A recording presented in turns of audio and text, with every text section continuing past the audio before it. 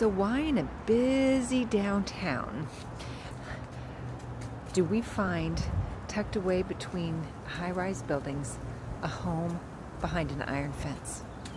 Whose home is worth actually preserving? Well, it's Henry Wadsworth Longfellow. I think we all know him from his famous Paul Revere ride that he produced, but he was also a professor at Harvard, and he was um, a man who inspired by uh, uh, reflecting on his rich legacy. Um, he has he had lots of naval and um, military people who are part of his own history. So when he was passionately writing about this ride of Paul Revere, uh, it was based on part of his own history. Uh, Longfellow married a woman he thought was beautiful and a genius. And they had some amazing conversations and uh, inspired one another.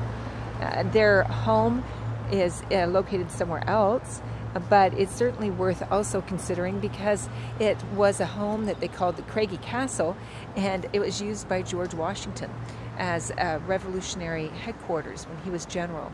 There's lots of history that goes along with Longfellow, but uh, if you get a chance to get to Portland, Maine, uh, look between all these high-rise buildings and office space and make sure you stop in and see Henry Wadsworth Longfellow's home.